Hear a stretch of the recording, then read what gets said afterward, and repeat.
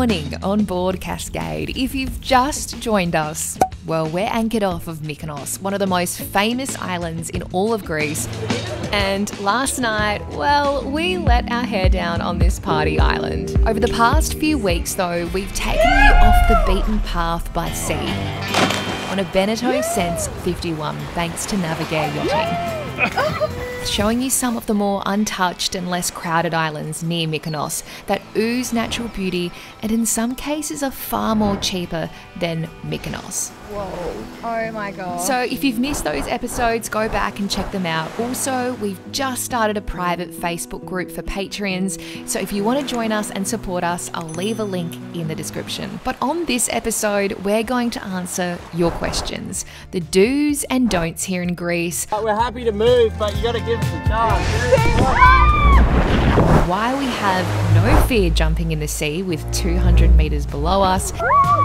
And we're also going to literally sail you to a trendy Venetian built island. Wow, bloody beautiful. Right now, we're anchored off of Mykonos, which is part of the Cyclades, a group of islands you can see here in this region. We're currently on the west coast, so this will make it easy for us to sail to Syros, which is just 20 nautical miles away.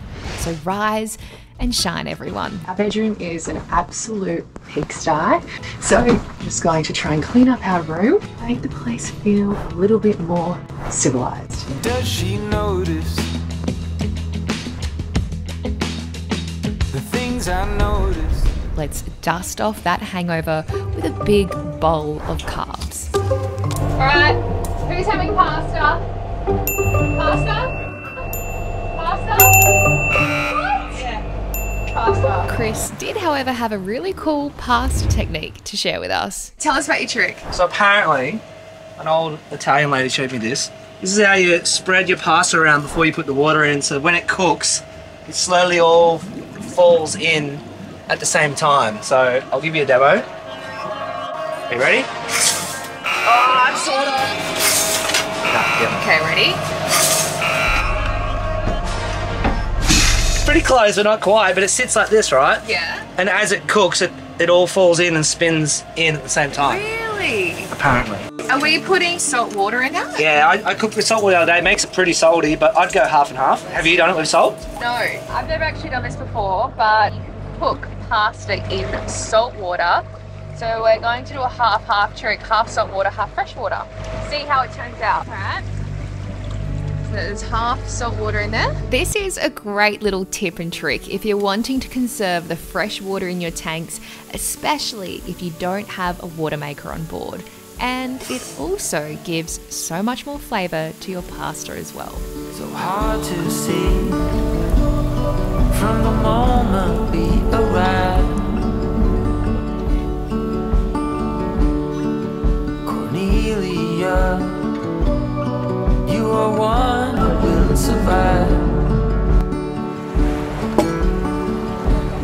With a bit of food in our bellies, spirits were rising.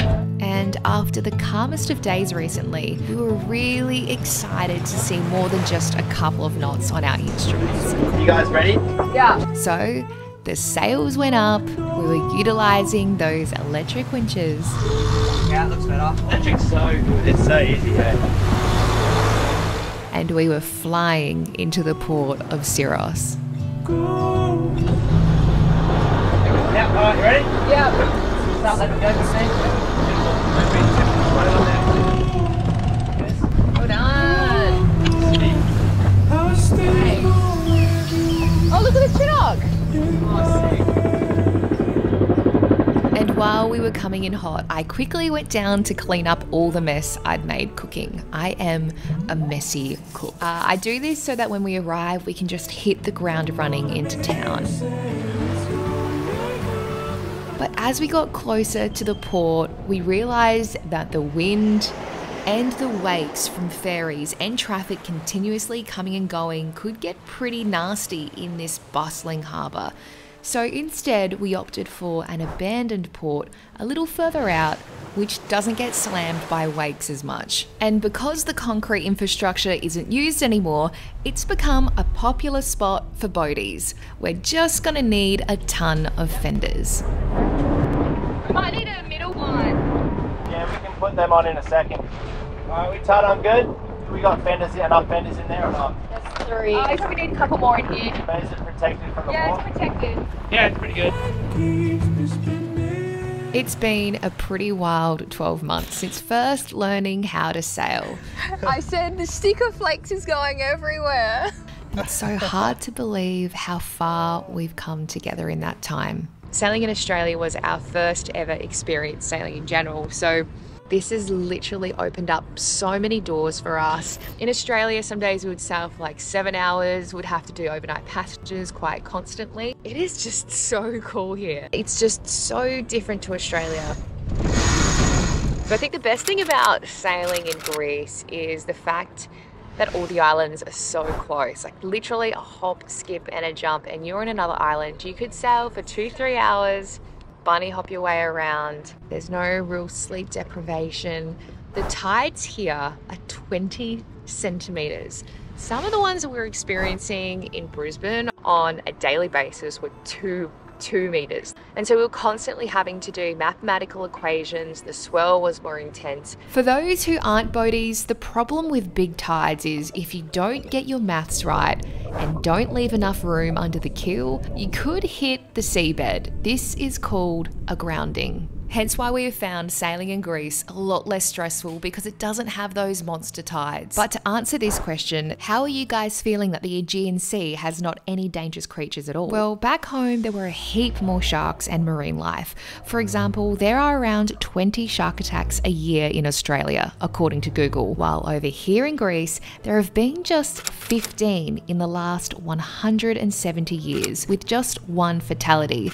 So we felt a lot safer swimming in the sea here. One thing that did bite though here in Greece, I had issues using some of my usual banking and social media apps. For example, on Instagram, I lost the ability to post reels, and both John and I weren't able to access music either, which sucked. So Rachel told me about her Surfshark VPN and it was amazing. I downloaded Surfshark on the App Store straight away and changed my IP address to an Australian one. So I was able to tell my phone that it was virtually back in Australia, even though I was physically still here in Greece. And I did get all my app features back. So when Surfshark reached out to me to sponsor this video, I was genuinely so excited to share this news with you because having a VPN saved us from leaving you guys in the lurch on social media. It's also great for a ton of other perks like accessing otherwise blocked libraries on Netflix, so you're able to watch all your favorite shows in regions all around the world. If you'd like to sign up, use my code Kristina's. You'll get 83% off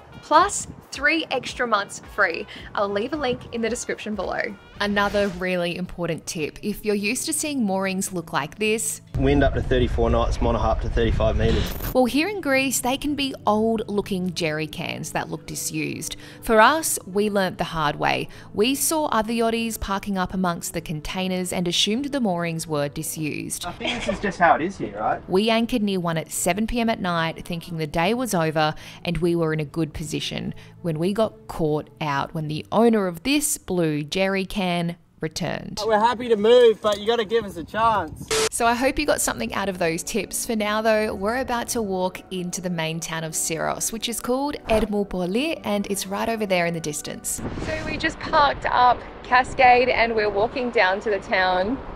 Beautiful little marina nearby with these cute little boats. This town is so pretty. It's got a real Venetian vibe, completely different to any other Greek island that we have seen on our trip. It's been a big day sailing. It's around 3 p.m. in the afternoon now, so we'll probably go for a walk for a couple of hours and then we're gonna grab a bite to eat. People first started settling here in Syros 5,000 years ago in the early Bronze Age. It was home to the great philosopher Pherecydes, who became the teacher of Pythagoras in the 6th century. But constant pirate invasions and barbarian raids devastated Syros over and over, forcing residents to move to the top of the hill. Over hundreds of years, Turks, Persians, Romans, Franks, and Greeks have all settled here, leaving behind their cultural traces. It's such a unique little town. It's really picturesque. It's absolutely beautiful. Even the roads are marble here. Wow.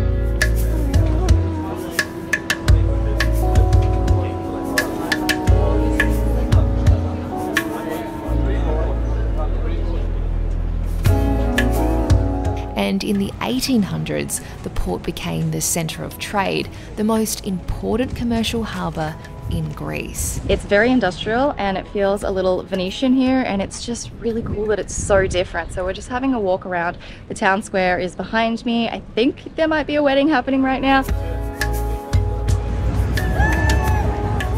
But its most prosperous period lasted until German troops arrived in World War II. Today, it's a bustling, quirky town with so much personality, and the gelato from Django Yum. is off the charts. That is so good. Have you noticed they've got like tats and like they're really dressed alternatively and really hip, hip stuff.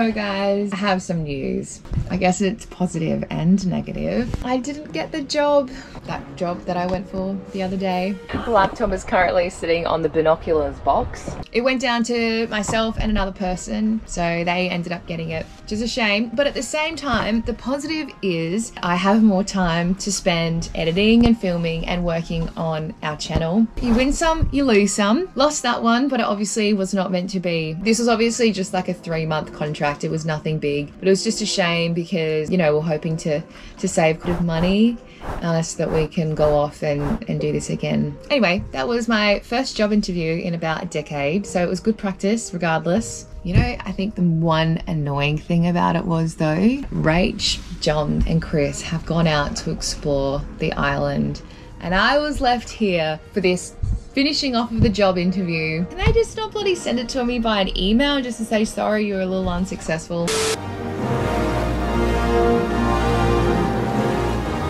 So, if visiting Syros, you can tie up to this abandoned marina. It is completely free for us to stay. Having all these fenders here on this marina is extremely important because as the ferries go out, the massive wake just pushes the boat into this concrete slab. But we're about to head off. We're about to bring the lines in and we're going to an island called Kea.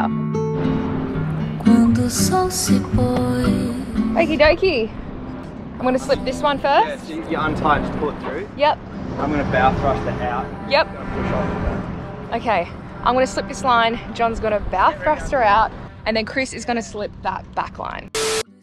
Ready?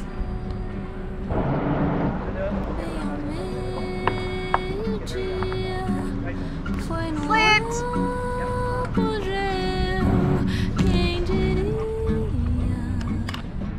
Gotta make it dramatic. Won't have a channel otherwise. Oh, yep, did a split Well done, team.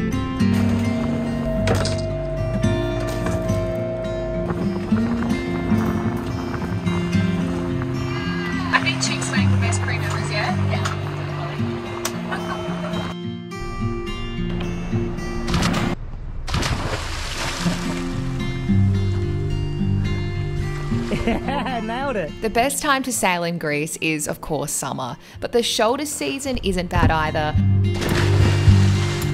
Although the water is a little chilly still, the end of May and early June for us was absolutely spectacular. Another one of my favorite things about sailing here in Greece is the color of the water. So crystal blue. Some of the anchorages that we have stayed in have been absolutely mesmerizing, majestic, magical, just breathtaking.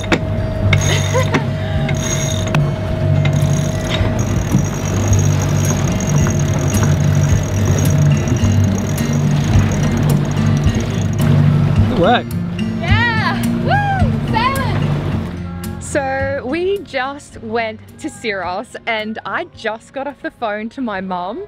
It turns out that my background, my great great grandmother was born in Syros. I am blown away. That was definitely one of my favorite islands here in Greece. I definitely wish we had more time on the island and maybe I can learn a little bit more about the history and family ties that we may have there still. So my background is obviously Greek. Uh, and I'm a bit Maltese, which means I'm also probably a little bit Spanish. I was born in Australia. My mum and dad were born in Australia, but my grandparents were from overseas, except for my dad's mum. She was Australian. I definitely noticed that the locals loved that I could speak a little bit of Greek. So if you're visiting, I would encourage you to learn a little bit. It means so much to the people here. So I'll give you a few little tips if you're visiting. Yasas. Yasas means like hello. So yasas, yasu. If you're going to a restaurant and you like chicken, instead of saying chicken, you could say kota. And if you're new here, make sure you hit that subscribe button.